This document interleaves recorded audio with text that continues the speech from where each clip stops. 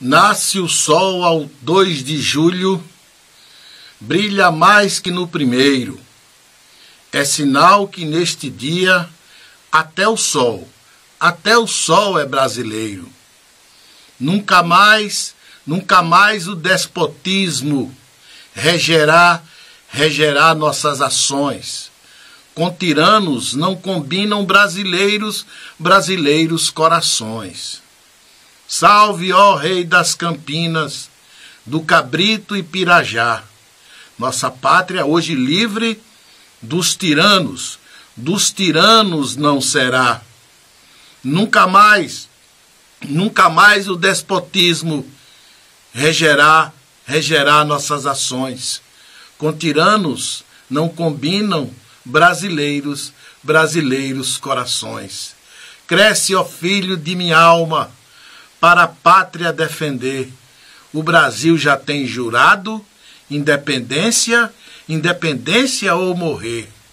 Nunca mais, nunca mais o despotismo regerá, regerá nossas ações. Com tiranos não combinam brasileiros, brasileiros corações. Com tiranos não combinam brasileiros, brasileiros corações com esta letra do hino do estado da Bahia ao 2 de julho, música feita por José dos Santos Barreto e a letra de Ladislau dos Santos Titara. Começo aqui agora mais um Poucas e Boas.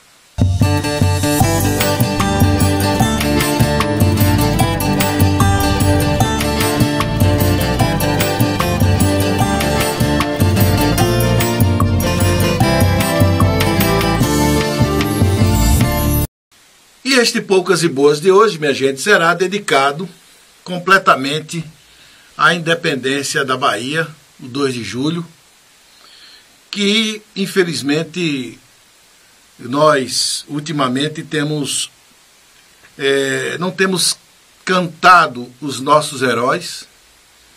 A gente está vivendo uma fase estranha, completamente estranha, né? Que está intoxicando as pessoas. Não se trata de defender o nacionalismo perrengue, não é isso. Mas uma pátria, um estado, um município, uma nação que não olha para a sua história, que não defende os seus heróis, ela tende ao fracasso. Pode ter certeza disso.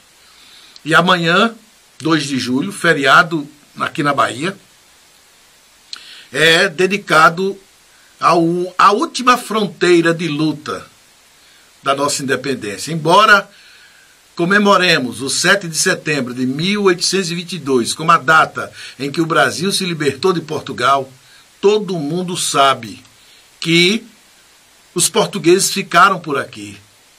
As terras eram dos portugueses. Então, em vários estados eles dominavam. E aqui na Bahia não foi diferente. Aqui na Bahia foi a última resistência, o último ato de vitória contra os portugueses, que aconteceu exatamente no dia 2 de julho, o final, né? No dia 2 de julho de 1823. E eu vou hoje aqui falar de quatro heróis. É claro que tivemos vários heróis, mas quatro são fundamentais. E o primeiro é uma mulher. O nome Maria Quitéria que é considerada a maior heroína das lutas pela independência na Bahia, porque ela entrou voluntariamente no Exército, na época em que mulheres é, não, não eram aceitas no Exército. Então ela se travestiu de homem e lutou né, contra as províncias que não reconheciam Dom Pedro como imperador. Foi para o exército escondida do pai Porém, após semanas, ela foi descoberta, mas o major José Antônio da Silva Castro não permitiu que ela fosse desligada. É, e por reconhecer sua disciplina militar, sua habilidade com as armas, deixou Maria Quitéria lutando. E Maria chegou a participar, inclusive, de lutas em defesa da Ilha de Maré, é, da, da Pituba, também lutou na Barra do Paraguaçu e na Batalha de Itapuã. Ela foi reformada com soldo de alferes né, e voltou para a Bahia depois com uma carta do imperador dirigida a seu pai pedindo perdão pela desobediência da sua filha. Maria Quitéria morreu aos 61 anos de idade, completamente esquecida. Aliás, como é comum, infelizmente está sendo muito comum, embora a história pontue os nossos verdadeiros batalhadores em nome da liberdade, em nome da justiça, o nosso povo parece que a memória nossa está se diluindo com relação a esses heróis. Mas o nome dela ficou registrado, embora ela, ela tenha. É, não, não foi uma luta em vão, porque nós estamos aqui, né? Valeu a pena a luta dela. Mas para ela, pessoalmente, não valeu muita coisa. Foi uma luta assim que ela não foi reconhecida em vida. A outra mulher também, é, heroína do 2 de julho, é Joana Angélica. A história de Joana Angélica fica marcada pelo sacrifício da sua vida em enfrentar o exército português. É, aos 20 anos e de uma família extremamente rica, optou por ser freira no convento de Nossa Senhora da Conceição da Lapa, em Salvador. Com a revolta dos soldados brasileiros contra a nomeação do brigadeiro Inácio Luiz Madeira de Melo para comandante das armas da província, no ano de 1822, soldados portugueses derrubaram a porta do convento a golpes de machado. Joana Angélica enfrentou os soldados lusitanos e teve o peito atingido por uma baioneta e faleceu pouco tempo depois. Tornou-se a primeira mártir da história pela luta do 2 de julho da independência da Bahia. Outra heroína, também mulher, observem, três mulheres já, nós estamos aqui reverenciando com relação ao 2 de julho. O nome dela é Maria Filipa. Maria Filipa de Oliveira é conhecida pela população da ilha de Taparica como a heroína negra da independência da Bahia. Ela era uma negra alta, forte, né? vestia saias rodadas, é, bata, chinelas. E à frente de um grupo de mulheres e homens de diferentes classes e etnias, fortificou as praias com a construção de trincheiras. Organizou o envio de mantimentos para o recôncavo e vigiou as praias. Ela fazia isso tanto durante o dia como durante a noite liderou aproximadamente 40 mulheres da defesa das praias de Itaparica, armadas com peixeiras e galhos de cansanção, surravam os portugueses para depois atear fogo nos barcos usando tochas feitas de palha, de coco e de chumbo.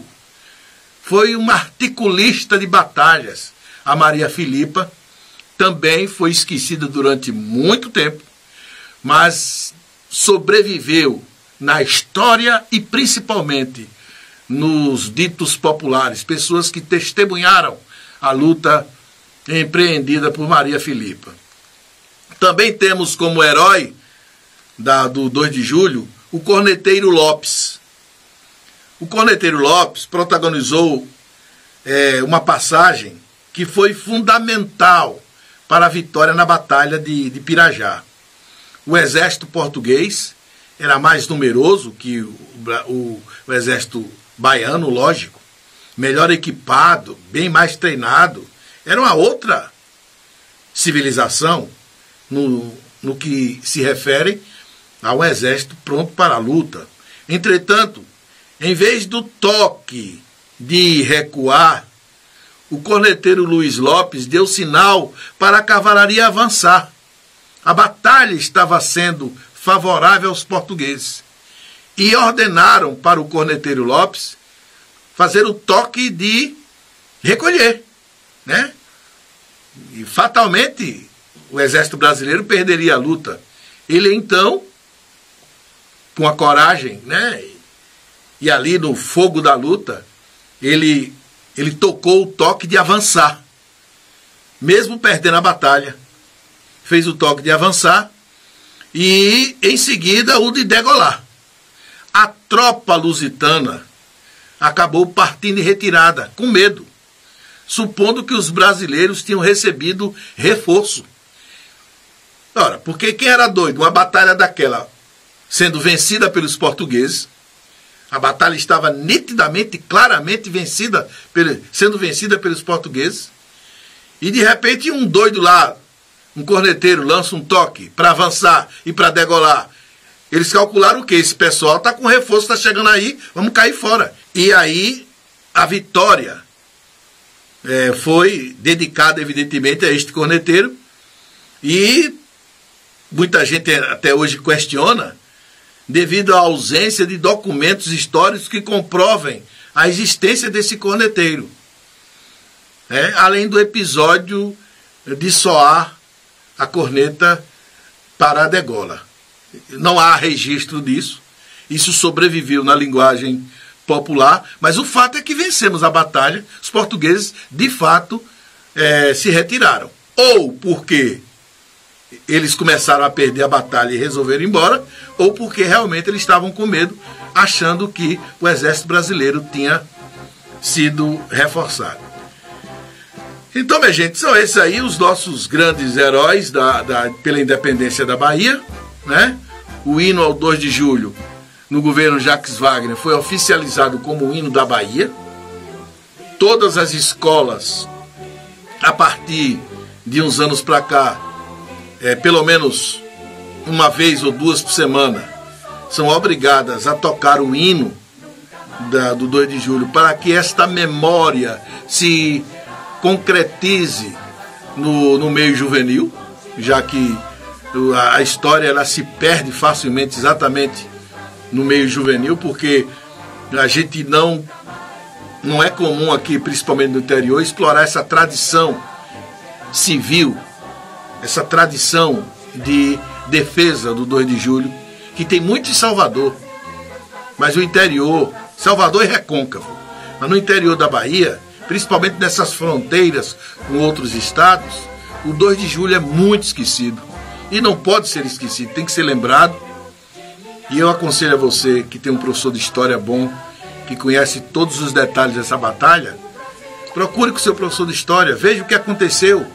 Procure se inteirar da história do seu estado e como é que nós estamos aqui até hoje, com todos os problemas que temos, com todas as, as questões relacionadas à pandemia, o estado da Bahia está aí, firme e forte, como vários estados brasileiros que lutaram pela sua independência.